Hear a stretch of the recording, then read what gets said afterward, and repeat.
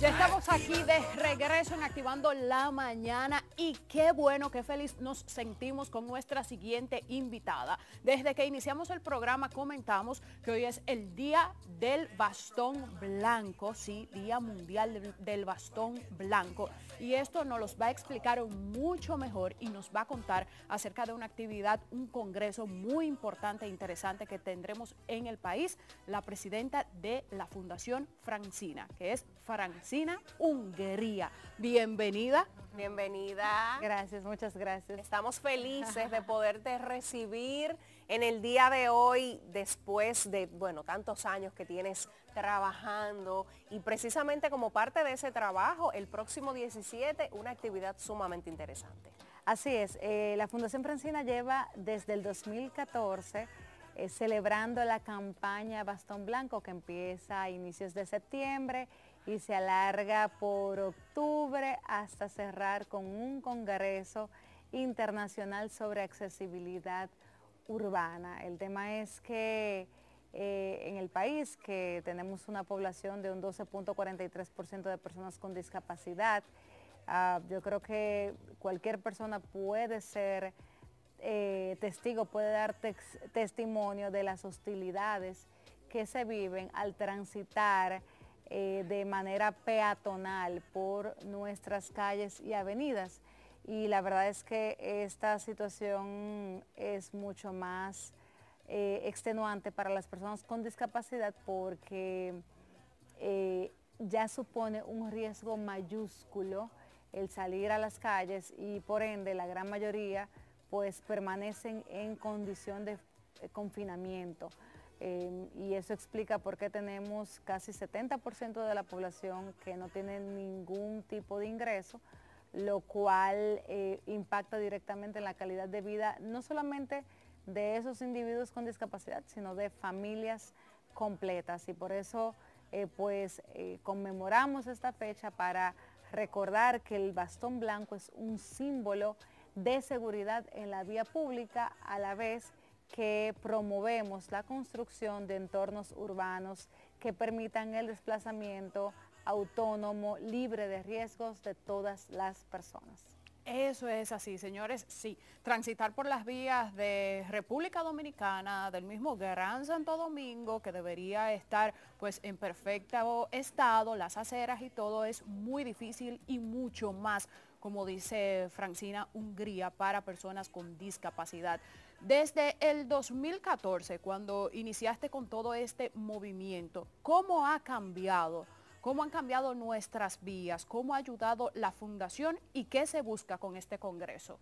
Pues eh, yo creo que nadie puede negar que se ha puesto de moda la inclusión. Sí, es cierto, es cierto. Las empresas hablan de, que son inclusivas, que contratan personas con discapacidad.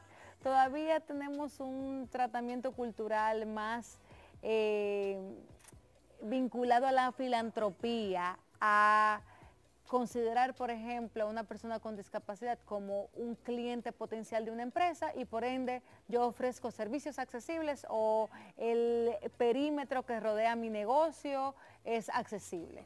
Eh, eh, entonces, en ese sentido, em, eh, digamos que todavía estamos décadas atrás a otras sociedades que ya han avanzado e incluso países de la región que han eh, avanzado para propiciar que eh, una población que asciende a más de un millón de dominicanos, en el caso nuestro, eh, pueda ser activa, no tenga que depender exclusivamente de, digamos, políticas sociales, subsidios o de la solidaridad de sus seres queridos, sino que pueda tener una vida productiva, activa, aportar al desarrollo de su familia y de su comunidad es porque ya desde hace décadas existen recursos, herramientas que permiten que la eh, población participe activamente. Entonces, nosotros identificamos que en nuestro país había una necesidad enorme de bastones. El bastón es como que la herramienta esencial de una persona ciega. Yo sería incapaz, señores, de dar tres pasos. Eh, el otro día que había un corillo de ciegos en mi casa, literal, alguien dejó un bastón porque eh, eh, también está lo que es el espectro de, baja visión.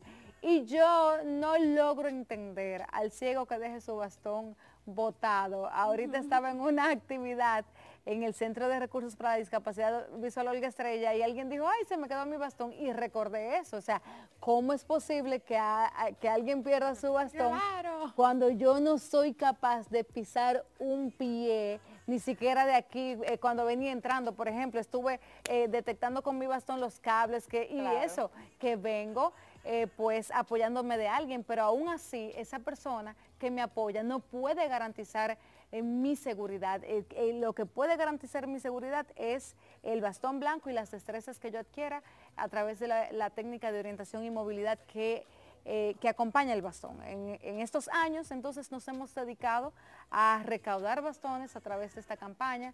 Tenemos un almacén y las personas de todo el país, eh, personas ciegas y con baja visión, se aproximan a buscar su bastón eh, eh, completamente gratuito en las oficinas de la fundación y al mismo tiempo también la campaña sirve para que personas que nos observan, que, disfrutan lo que hacemos con los influencers, colaboren a través de las, de las plataformas como PayPal y, y, y mismo compartiendo propiamente la, campaña. Entonces, yo diría, eh, resumiendo un poco, primero, ha habido un reconocimiento de que hay una población eh, que, tiene derechos y que debe ser incluida. Eso está bien.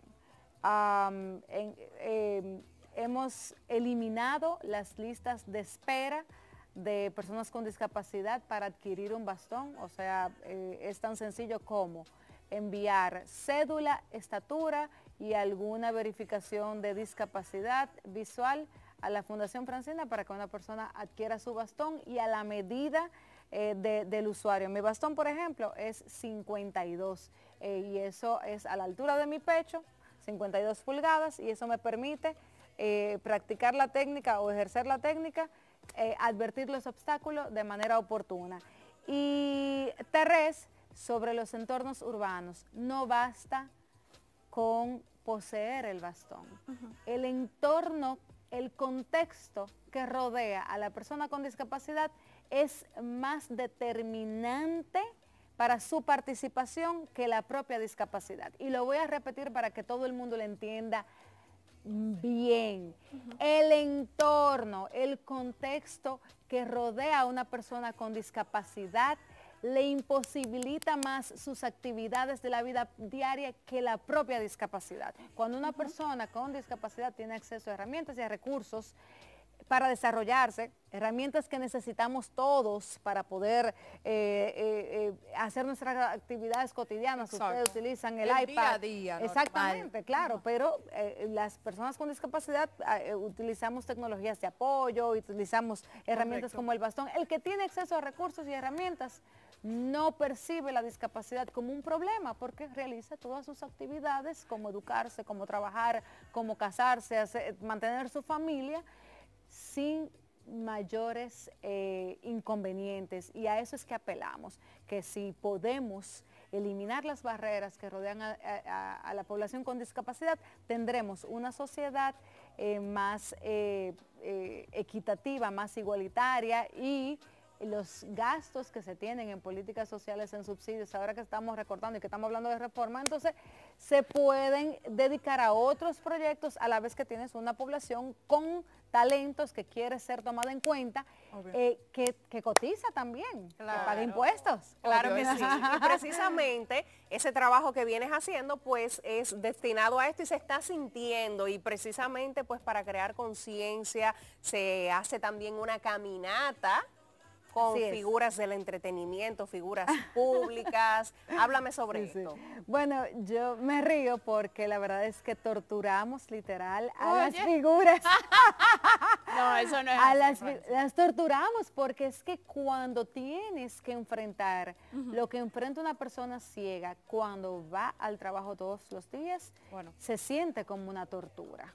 Eh, ¿Qué nos encontramos en la acera? Basura, alcantarillas abiertas.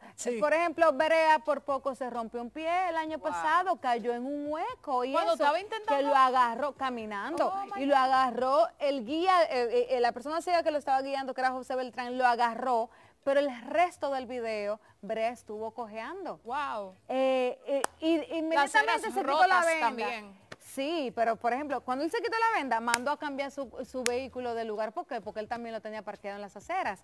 Tienes los vehículos parqueados en las aceras, los delivery, los motoristas que se suben en la acera para botar los tapones. Y si se encuentran con una persona ciega, ¿qué ha pasado? Le dicen, maldito ciego, ¿qué tú haces en la calle? Dios mío. Porque la acera es de ellos.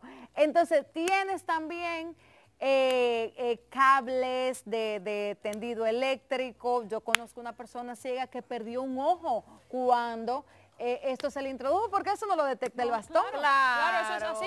¿Qué instituciones te han ayudado que no solamente figuras públicas del mundo del entretenimiento, sino dirigentes de nuestro país han estado ahí presentes?